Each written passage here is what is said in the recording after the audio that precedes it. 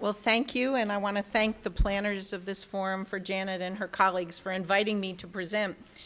Uh, for those of you who are not familiar with the American Association of Colleges of Nursing, we represent the baccalaureate and graduate schools of nursing. We have over 670 member institutions so that we provide resources for all of the constituents within the uh, schools of nursing and programs the faculty, the administrative staff, the deans, the leadership uh, on down the line. And we look at curricular issues, set standards for curriculum, and provide a lot of faculty development and also data collection.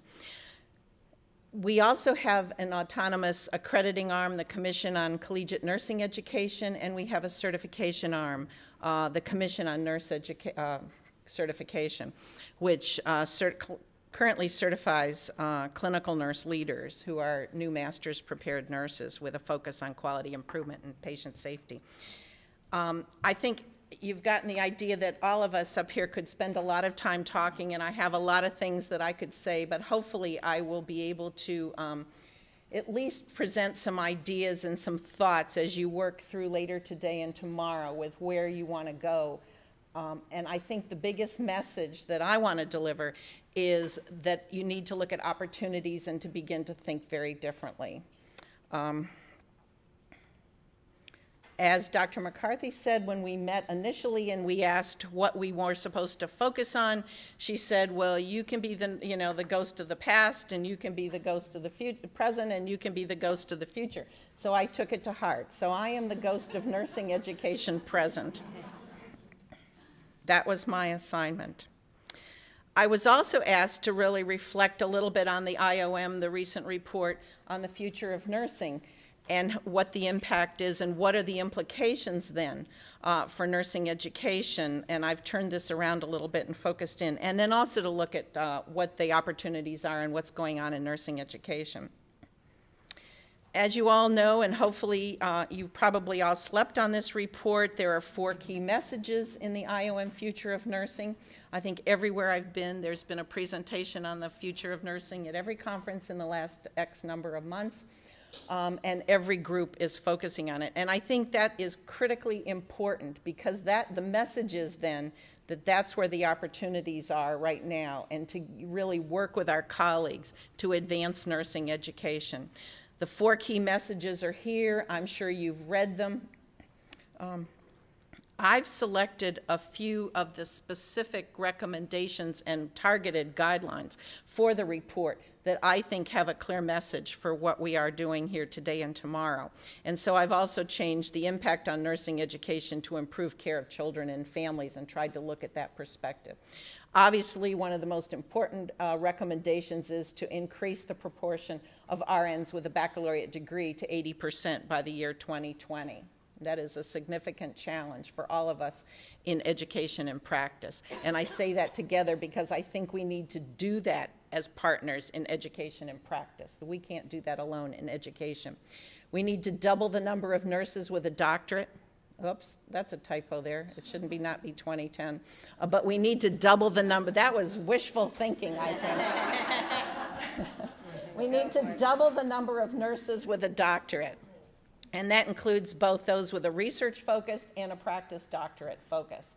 We need to ensure that nurses engage in lifelong learning. We heard that this morning, that we can't just prepare nurses and graduate them from our education programs and assume that then they're done for life and that they can go out and practice. This is a lifelong engagement, particularly with the rapid change in the information that's coming out, with the complexity with our, of our systems, the changes in practice looking at just you know some of the things that came up today the genetics the use of technology uh, communication and then we need to prepare nurses to lead change to advance health. So we're talking about preparing leaders, and not just leaders in the administrative sense, but leaders all the way up, from our baccalaureate graduates to our master's graduates on up to our doctoral level graduates.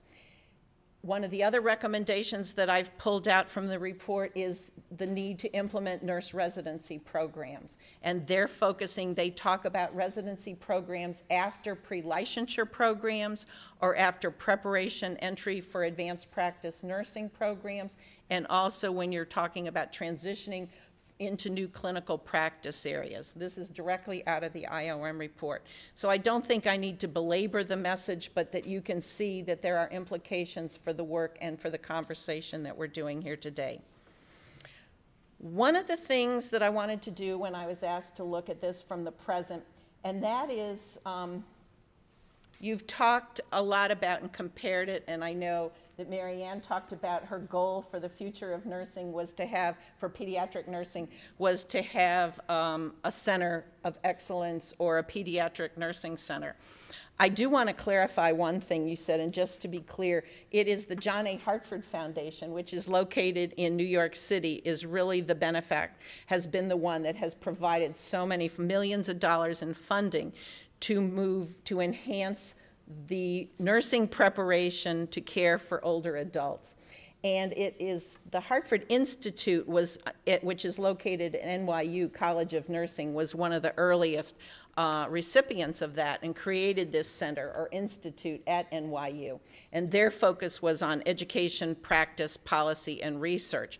Out of that, though, there has grown a number of other grant opportunities focused on curricular development, both at the undergraduate and graduate levels, uh, the, but what we've learned, and I'm hoping to provide you with some kind of insights into this whole development, is where I think you can get your biggest bang for your buck and do some things that are not necessarily costly, but we've learned lessons from what we've done uh, so when we talk about where I think that um, you ought to look at some of your strategies. But I put this up here for a reason, and I want to compare the survey that you just heard the results for, which are what you have on the left, that uh, Janet talked about today, looking at faculty, and that survey, I realize we're comparing, you know, one kind of apple with another, but I do think we're comparing apples and apples because the technique was similar.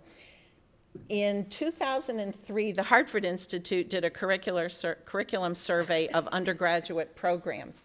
And actually, this was uh, the second survey. They did their original survey, which would actually compare to your survey for 2011 in 1999. So we're looking at a survey that was done after four years of work of trying to integrate uh, care of older adults into the curriculum and a lot of money put in. Um, we heard this morning, and I pulled out the, the data from the survey, the preliminary results, that there's a mean of three faculty teaching in an undergraduate program with a graduate degree in pediatrics. 83% said the undergraduate program did an excellent or good job preparing graduates to provide care to children, and 49% said had a pediatric standalone course, and 20% said they had a standalone course and integrated the content. In the Hartford Institute Curriculum Survey in 2003, less than one third of the schools said they had any gerontology certified faculty. Only 76% of schools have at least one expert in gero on their full time faculty, and 34% of the baccalaureate programs had a standalone gero course, and 92% had integrated the gero specific content. That was at 63% in 1997 when they first did the survey. So, let me also uh, just compare, and I'm not trying to rain on your parade, but I'll get to the message of what I hopefully will uh, impart here. In your survey that you did, you looked at competition for clinical practice sites that was significant or moderate barrier was at 75 percent and insufficient number of full-time qualified faculty were 33% saw it as a moderate or significant barrier. And I think those are important numbers. But I want you to compare it, not take that out of context, but compare it. In our 2010-2011 enrollment and graduation report, we do an annual report of all the uh, baccalaureate and graduate schools every year. And our data from last fall, the number one reasons for not accepting all qualified applicants in generic baccalaureate programs, 62% said there was insufficient number of faculty, and 65% said there was insufficient clinical sites.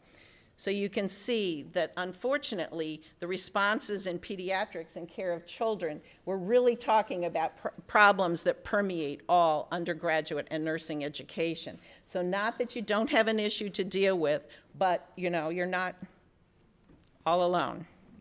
Um, and you can't really see this, but I think hopefully I will get you to think more positively, not th- that your glass is half empty, but that your glass is half full. And maybe it's not full enough and you work, need to fill it up, but you're really not, it's not empty. So, what are the opportunities? And this is where I need you to start thinking, being thinking outside the box, think creatively, and think about what can be. And where can you integrate this into the curriculum? Opportunities, opportunities, opportunities. I know at one point I was talking to Janet about where funding opportunities might be, but not just funding, but looking at where you can market this and how you can convince individuals that this is something that needs to be focused on. And I just off the top of my head wrote down some of the major national initiatives that are ongoing. I guarantee those of you who are really focused on kids all the time could make this a much longer list. But if you just look at the national news, uh, Michelle Obama's campaign, Let's Move, uh, the concussions and sports injuries and the focus on you know kids with those, uh, the national health, transportation and safety, highway sa- transportation and safety, um, keeping our kids safe. So what I have done is for um, AACN, I mentioned that we have focused on establishing guidelines for education at all levels. And I've just put up here so you have a reference to what I'm talking about. That the, we call them our essentials series, our essentials for nursing education, so that the essentials of baccalaureate education for professional nursing practice, the essentials of master's education, and on down, uh, the essentials of doctoral education for advanced nursing practice, provide the foundation and the expected outcomes of graduates at the end of these programs. They're not specific uh, course objectives, content, uh, telling uh, faculty how to design their program, but rather the expectations for individuals at the end of their program, for somebody coming out of their baccalaureate program. These are national consensus-based documents. They are developed, uh, taken across the country with input from both practice and education on what is expected of somebody. So our baccalaureate essentials was approved by our membership in 2008. So they're all relatively new uh, documents reflecting current practice, although as much as you can reflect current practice from yesterday to today. Uh, the research-focused doctoral programs, just so you know, we don't establish essentials for those, but we ha do have a document called Pathways to Excellence that really talk about what should be the expectations, what criteria, what resources, what should faculty look like, what should postdoctoral programs look like for those programs. So the essentials of baccalaureate education really provides the foundation for all types of baccalaureate nursing programs. The generic or traditional uh, nursing baccalaureate program, the RN to BSN, the and the entry level MSN program, which many individuals call generic masters or second degree masters. So we're really talking about all these graduates. So when you're looking to implement or make changes in outcomes, you need to look at all types of programs, but this foundational document really provides that and is where to start. So, building the case. I've pulled a couple statements out of our current baccalaureate essentials document so that you can see that there is an emphasis and there is the case for including content related to the care of children and families embedded within the document to make your case. And these are a couple of statements that I've pulled out.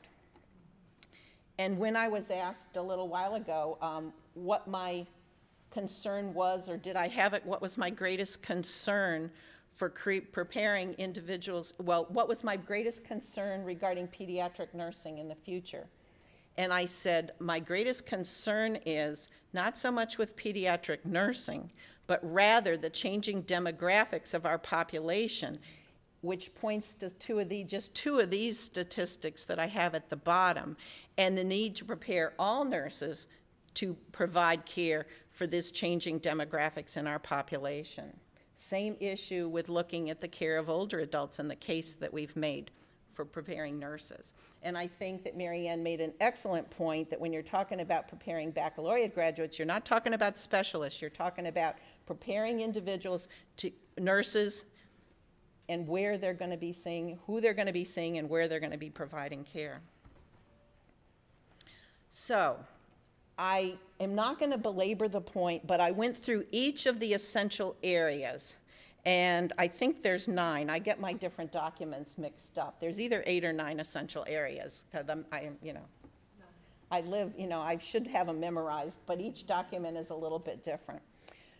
But the major essential area, the first one, is liberal education for baccalaureate generalist nursing practice. And so I went through and I looked at the outcomes and I looked at and thought about where content and where it should be integrated.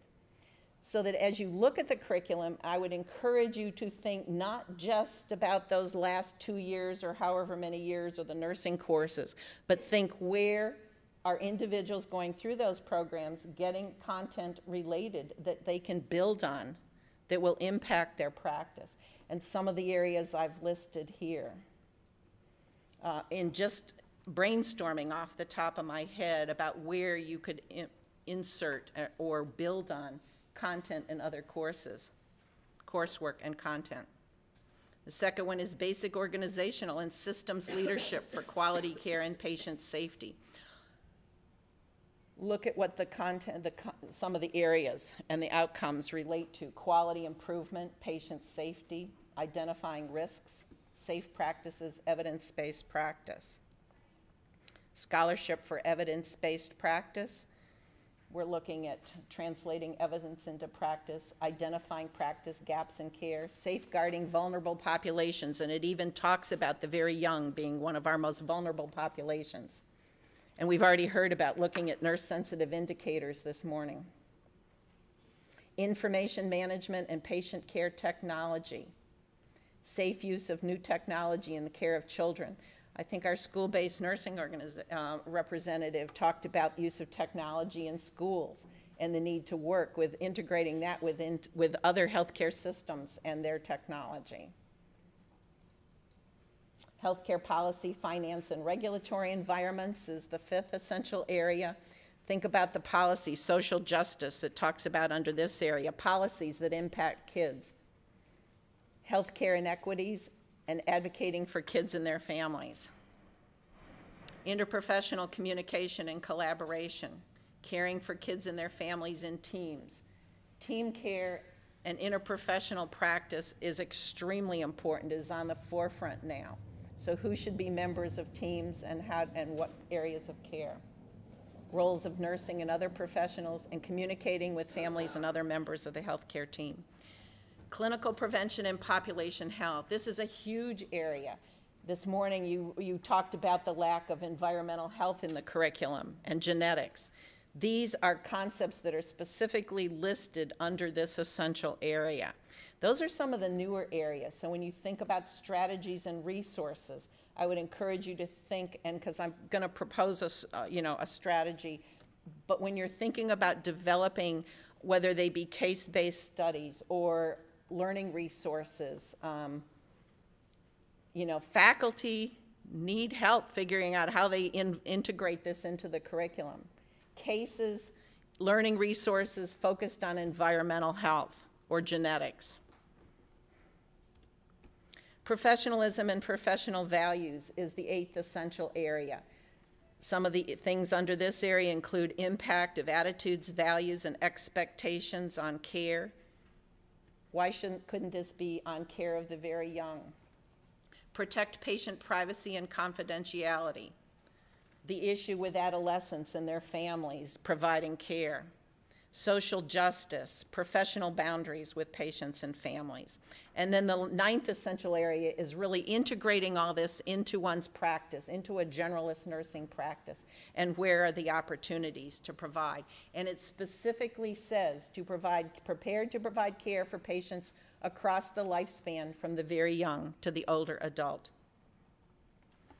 to understand variations and how principles are applied in different kinds of settings Okay, so where are some of those opportunities for enhancing pediatrics or care of children and families in the baccalaureate curriculum? I would propose that we've learned from our experiences with other areas that one of the biggest needs is faculty development and providing learning resources for faculty and exemplars.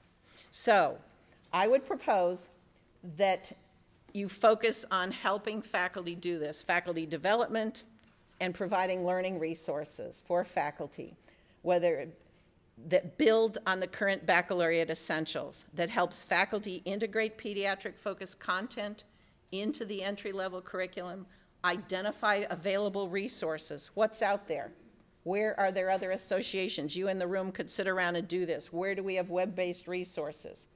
Are there modules that are developed? Are there case unfolding case studies? Are there simulation examples? Um, and if not, then that's where you begin to identify the gaps and develop these resources. Um, just off the top of my head, I was sitting at a couple meetings over the last week and I heard people talking about them. So I just happened to list some of the, the ones. You could add very many more to some of the places where there are already learning resources.